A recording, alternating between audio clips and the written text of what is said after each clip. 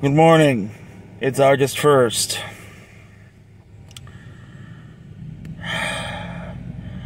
It's 8 something. I I don't know. 8:30 something.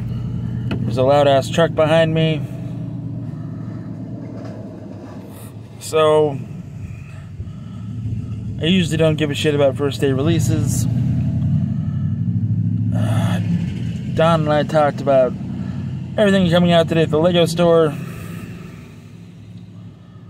Don was like, I'm going to be there at 9 o'clock. I was like, I guess I'll be there with you. So that's where I'm headed. I'm going to grab a drink first, go to the mall, find a spot to sit, and wait for the Lego store to open. Can't wait. It's 10.02. Don and I are at the Lego store. Don's right there. Say hi, Don. Then we have a whole bunch of line. Don and I had to sneak in through the maintenance entrance. So that was cool. Yeah, we did. Because the doors were locked. They were supposed to open at 10. They were not at 9. They were not. So here we are. Uh, I'll show some store stuff. Because why not, I guess. That button? Nope. But as I've got in front window, no Galaxy Explorer, nothing like that, but we'll see what happens later today. Got a hell of a line already.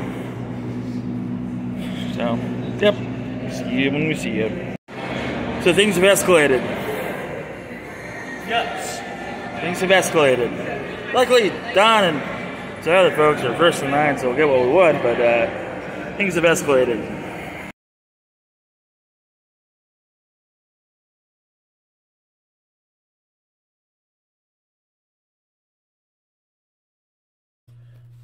Alright, so as you saw from that super short video, I went to the Lego store. It was super crowded.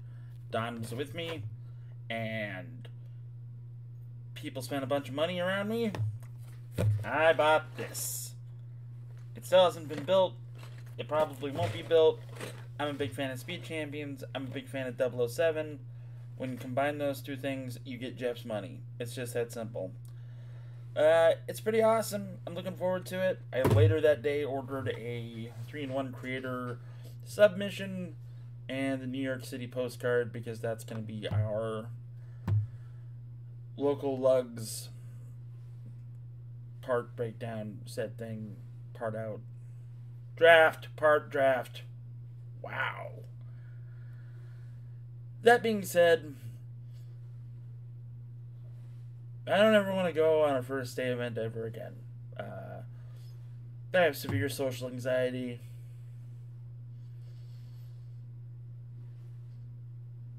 It was not a good time. There was maybe 50 people.